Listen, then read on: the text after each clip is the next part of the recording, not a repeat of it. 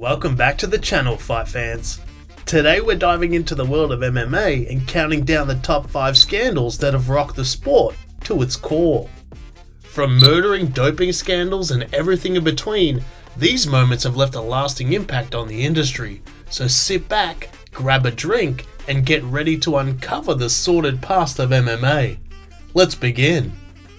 People are generally fascinated by scandals, as long as they're not personally involved. Scandals, whether they involve political corruption or rigged sporting events, always draw significant attention.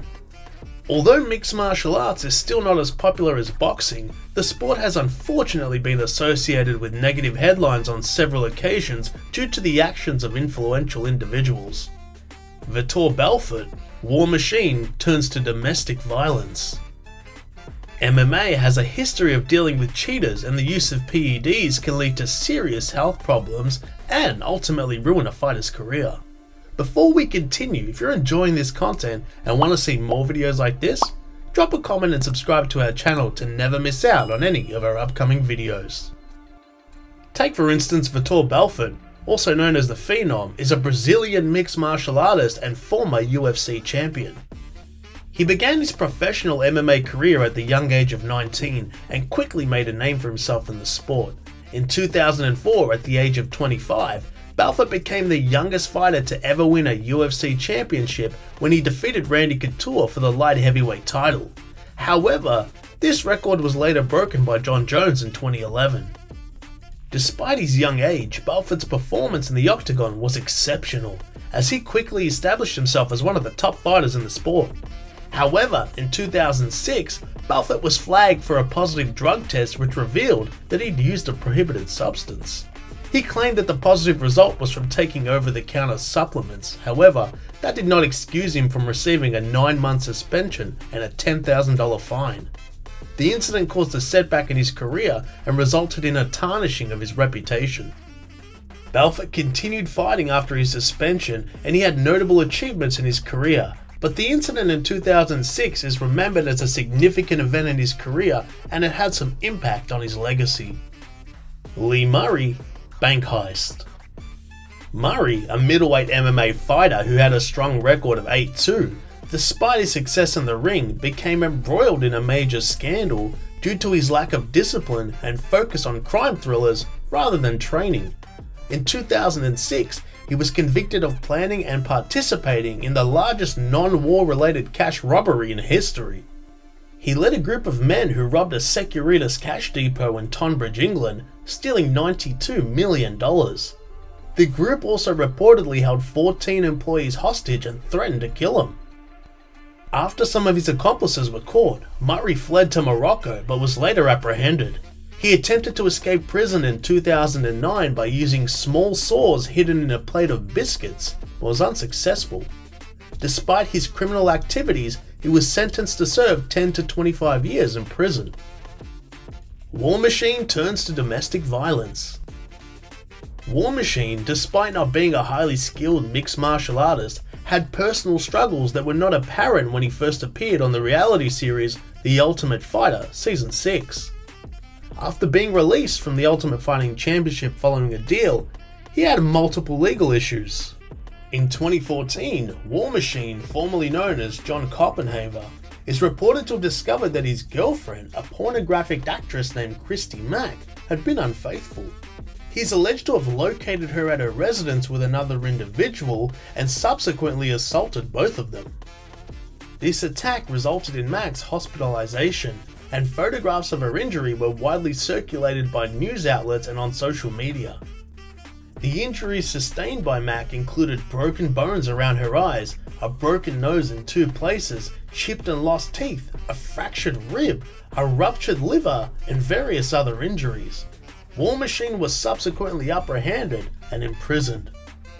The Rafael Torre murder and John Son rape conviction.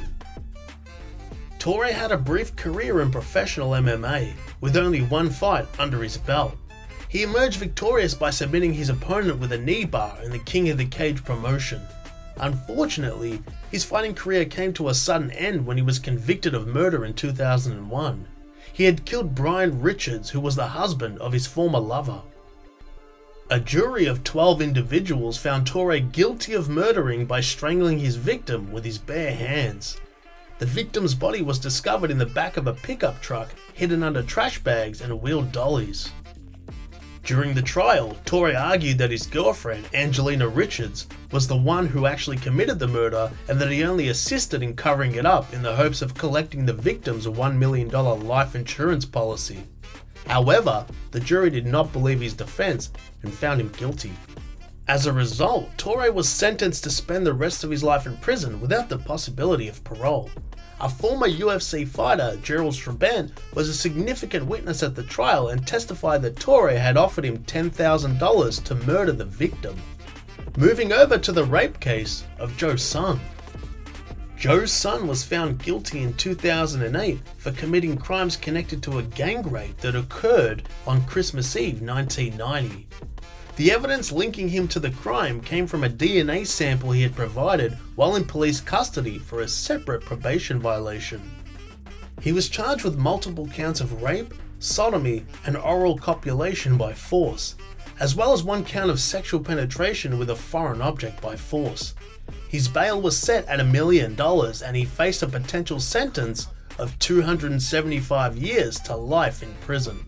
The original charges against Son were dismissed due to the statute of limitations, but he was then charged with conspiracy to commit torture and murder, which have no such time restrictions. He was convicted of one count of torture related to the incident. While serving a life sentence, he made headlines again in 2011 for allegedly killing a fellow inmate. He's well known in the MMA community for being punched in the groin by Keith Hackney during a fight and will stand trial for murder in 2016. Nick Diaz, positive for marijuana. The picture that was released by TMZ spoke volumes about the situation. American MMA fighter Nick Diaz received a five year ban and a $150,000 fine from the Nevada Athletic Commission for testing positive to marijuana.